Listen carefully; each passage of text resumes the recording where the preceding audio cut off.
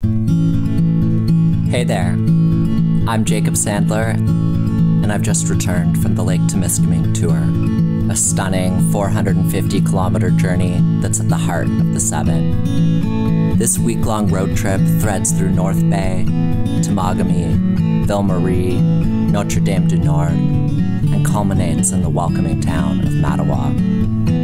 Every mile here is a story waiting to be told with a good friend, it makes for great memories. In the seven, you leave the city's rush behind. Arriving in North Bay, I felt that immediate release. The serene waters of Trout Lake set the stage for the adventure ahead. Temagami's nights were a canvas of stars, a pure reflection of the wild spirit that the Seven embodies. Each day provided something new and inspiring. Haileybury's Whiskey Jack Brewing greeted us with its rustic charm, and the Country Music Fest at Sutton Day Park pulsated with the authentic heartbeat of the North. Temiskaming Shores has so much to offer. Paddling, I embraced the spirit of the Seven. It's the dock spiders, the loon calls, and the sand in your gear that make this place a real one, a place that can't help being itself.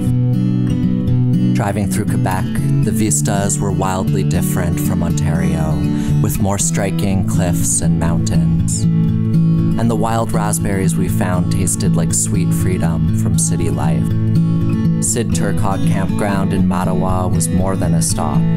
It was a chapter of its own, with fries famous throughout the Seven and beyond.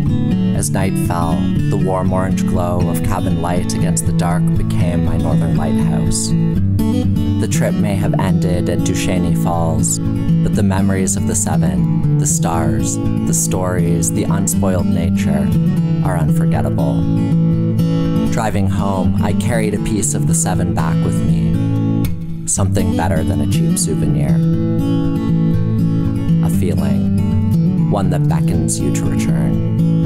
Here's to the countless chip shops, the campfire tales, and the best journeys of the Seven so go on and jump in. The water is just right.